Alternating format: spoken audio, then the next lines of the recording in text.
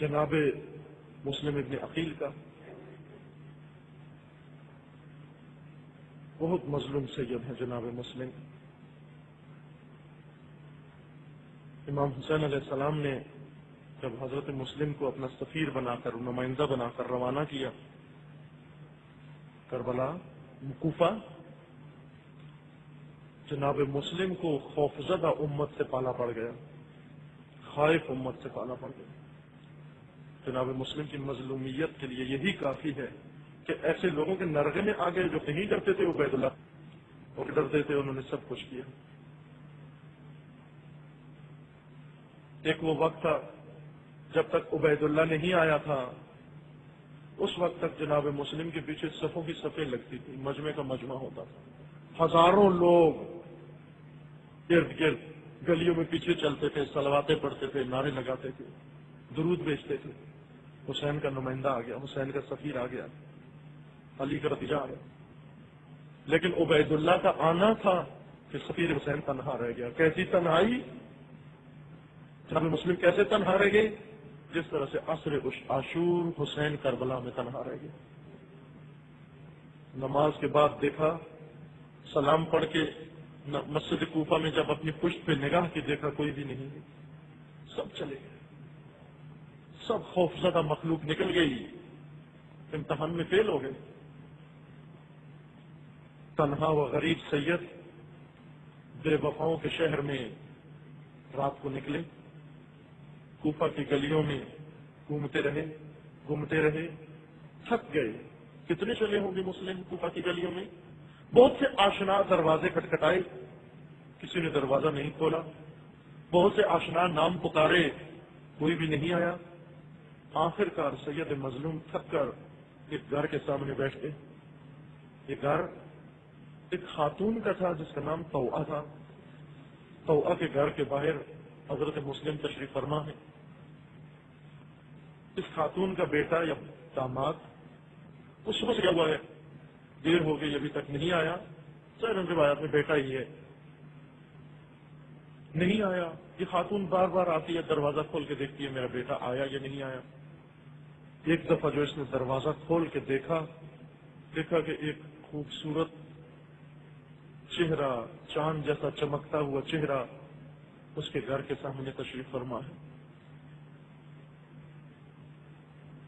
دیکھا لیکن بولی نہیں، دروازہ بند کر دیا۔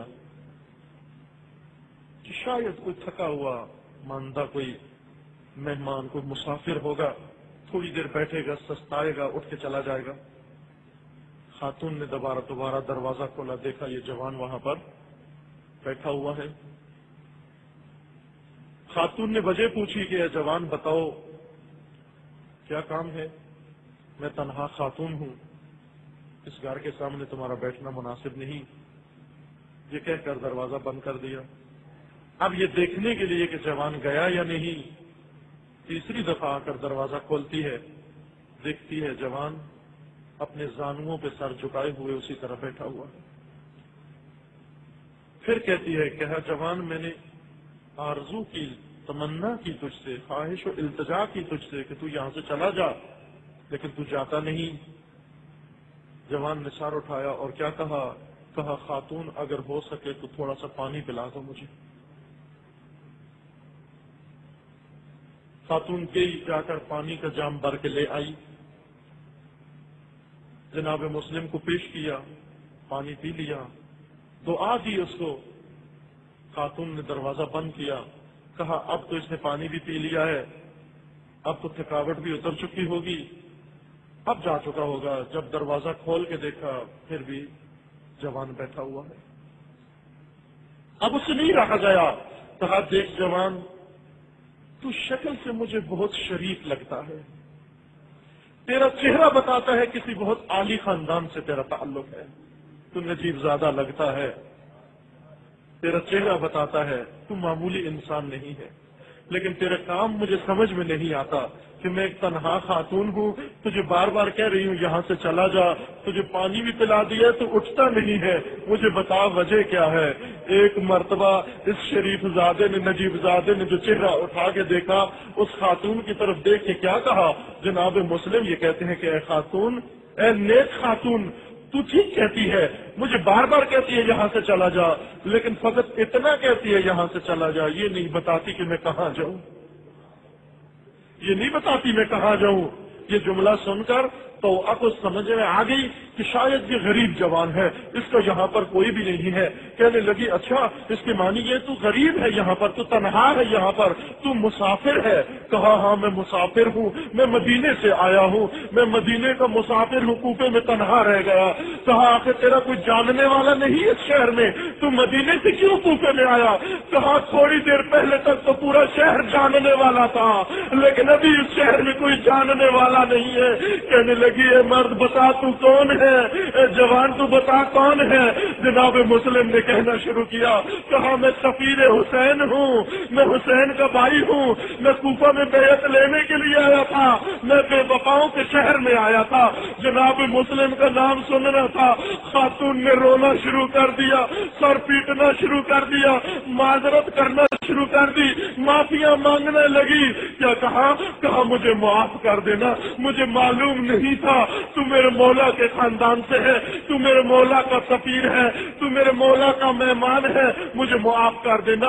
اٹھا کر لے گی جناب مسلم کو اپنے گھر میں اور جا کر سامان فراہم کر دیا سونے کے لیے، کھانے کے لیے۔ اور اس کے بعد کیا کہا کہا، میرا بیٹا آتا ہے۔ جب وہ آ جائے تو میں اس کے ذریعے سے آپ کو کل مدینے کا راستہ دکھا دوں گی اور محفوظ طریقے سے شہر سے نکل جاؤ گے۔ یہ کہہ کر بڑھیا نے دروازہ بند کر دیا۔ لیکن روایات میں ہے کہ کہ جب بڑھیا کا بیٹا آ گیا، خاتون کا بیٹا آ گیا، تو جناب مسلم حالت خواب میں رات کو ایک خواب کا منظر دیکھا۔ کیا خواب کا منظر تھا؟ کہا، میں نے خواب کا منظر یہ دیکھا کہ جناب رسول اللہ خواب میں نظر آئے، جناب علی علیہ السلام خواب میں نظر آئے، حضرت فاطمہ زہرا کو خواب میں دیکھا، امام حسن مشتبہ کو خواب میں دیکھا کہ سب مل کر کیا کہہ رہے ہیں؟ کہہ رہے ہیں، بیٹا مسلم دیر کیوں کر رہے ہو؟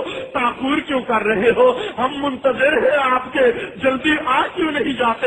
جب یہ خواب دیکھنا تھی، حضرت مسلم اٹھ بیٹھے، اس سرسراہٹ سے اس خاتون کا بیٹا متوجہ ہوا کہ اس کمرے میں کوئی موجود ہے۔ ظالم گیا، جا کر اس نے دیکھا کہ جناب مسلم تشریف رکھتے ہیں۔ کیا کہنے لگا کہ میں جسے صبح سے ڈھونڈ رہا تھا، جس کے لیے میں مارا مارا پھر رہا تھا، وہ تو میرے گھر میں بیٹھا ہوا ہے۔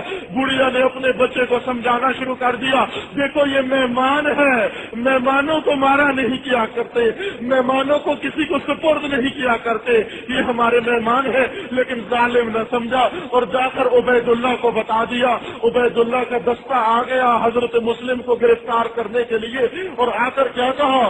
کہا، اے خاتون، مسلم کو ہمیں سونپ دیجیے ہم مسلم کو گرفتار کرنے آئے ہیں۔ خاتون نے کہا، یہ نہیں ہو سکتا۔ مسلم میرے مہمان ہے میرے مولا کے سفیر ہیں۔ میں خود تو مر سکتی ہوں، لیکن اپنا مہمان نہیں دے سکتی اگر میرا بیٹا نابکار ہے میں کنیز فاطمہ ہوں میں کبھی فاطمہ کی اولاد تو نہیں دے سکتی۔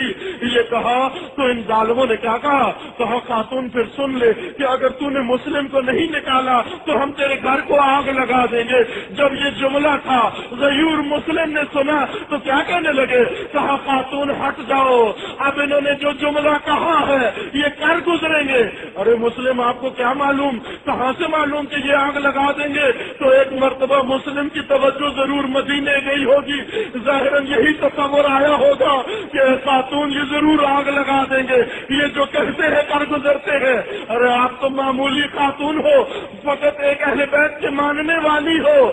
جب نبی زادی دروازے کے پیچھے تھی، جب فاطمہ زہرا دروازے کے پیچھے تھی، ان ظالموں نے کہا، علی کو بھیج دو، آگ لگا دیں گے۔ تو آگ کو کہہ کر انہوں نے آگ لگا دی۔ نبی زادی کا دروازہ چلا دیا۔